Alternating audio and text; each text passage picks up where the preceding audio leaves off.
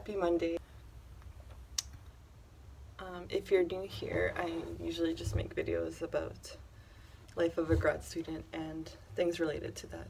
So this week, since we're finally back to school, I wanted to just make a video about the routine of going back to school. I'm too shy to like still vlog around people, so you probably won't see like everything, but anyway, so today on Monday I have a free day, which is great, so I get to just focus on my own stuff, no tutorials or meetings or, or anything. So I made like, uh, I updated my Notion for today.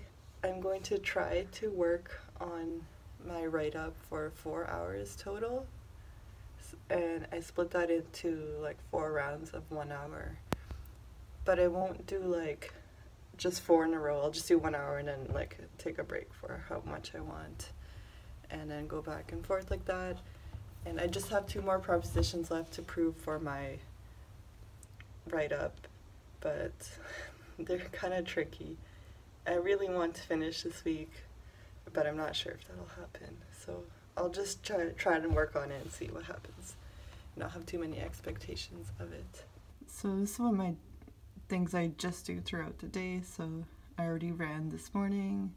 I like to practice kanji every day and slowly just build up my vocabulary and do a little bit of Duolingo, watch a video in French. So I already listened to a podcast while running this morning, but still probably watch this watching a show called Avec Moi, which means with me, and it's it's like this girl in Montreal who makes a YouTube channel, so that's why it's called With Me, which actually took me like a while to catch on to that. And it's really interesting. Sometimes I feel a bit bad for her. It seems like her life is hard. But it's really good for practicing French, especially if you want to learn like Quebecois French. And I have just like practice my violin do all my math and then have a tutorial tomorrow so just have to review what they've been learning. And my weekly goals, I hope to prove this.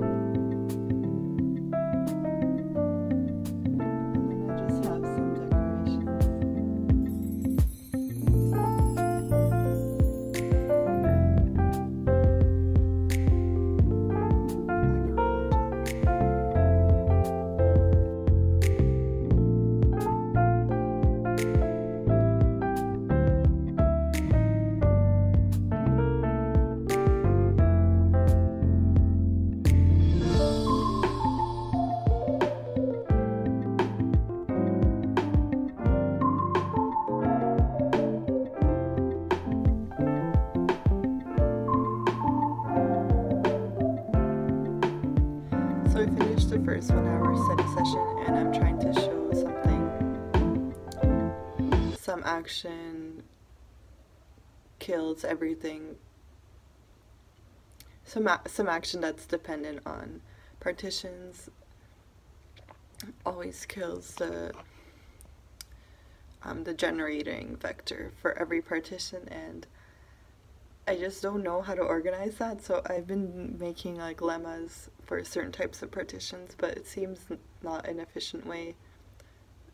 So I was hoping I could just like solve this by myself, but maybe I'll have to admit to my advisors that I'm stuck and I'm doing it in a way that's probably not the best way to do it. But for today, I'll just keep trying this my way and see what happens. I'll, I'll try to explain a bit later, like exactly what I mean when I'm saying for every partition and stuff like that. But now it's time for a coffee break and maybe just like just chill a little bit and then try the second session before lunchtime.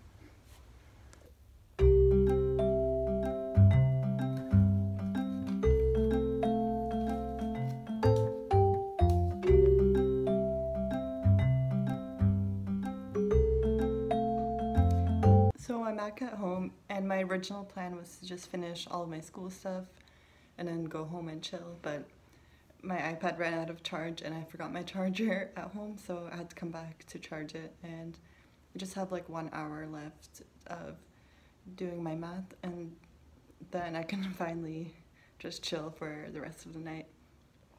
And I've been liking this going to school during the day and just having nothing to do afterwards because sometimes when you're doing stuff late at night, like if you don't do anything till midday and then work later, it feels like you're always trying to catch up. So this way you do your work and then you can rest without being guilty. And I haven't finished my proof yet, but I think I've gotten like a little bit closer at least.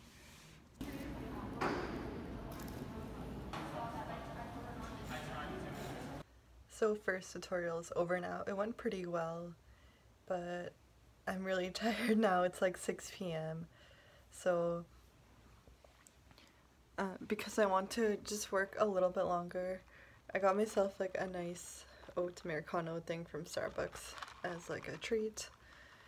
And my office has a couch, so I'm just gonna drink the coffee here and like relax for like 10 minutes before continuing to do my work.